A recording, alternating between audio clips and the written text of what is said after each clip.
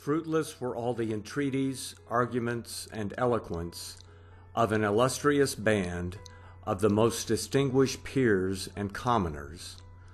who nobly and strenuously asserted the justice of our cause,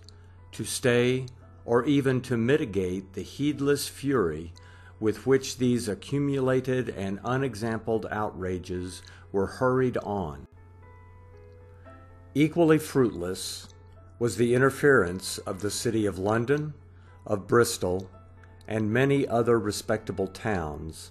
in our favor. Parliament adopted an insidious maneuver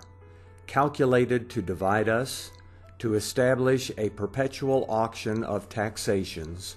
where colony should bid against colony, all of them uninformed what ransom would redeem their lives, and thus to extort from us, at the point of the bayonet, the unknown sums that should be sufficient to gratify, if possible to gratify, ministerial rapacity, with the miserable indulgence left to us of raising in our own mode the prescribed tribute.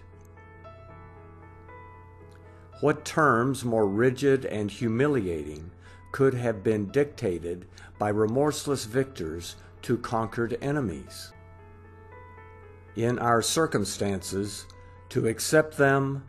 would be to deserve them. Soon after intelligence of these proceedings arrived on this continent,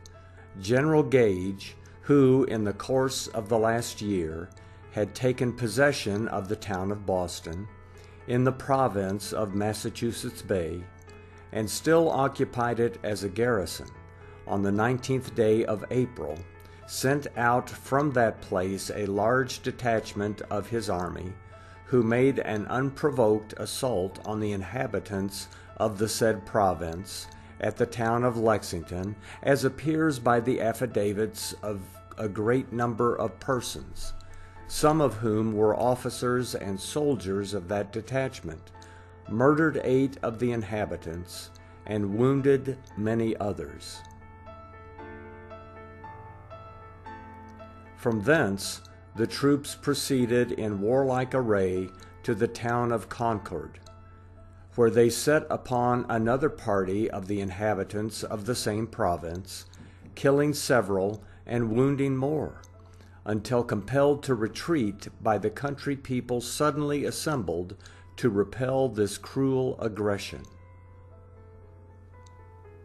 Hostilities, thus commenced by the British troops, have been since prosecuted by them without regard to faith or reputation. The inhabitants of Boston, being confined within that town, by the general, their governor, and having, in order to procure their dismission, entered into a treaty with him.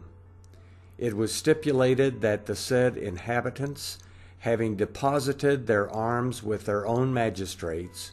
should have liberty to depart, taking with them their other effects. They accordingly delivered up their arms but in open violation of honor,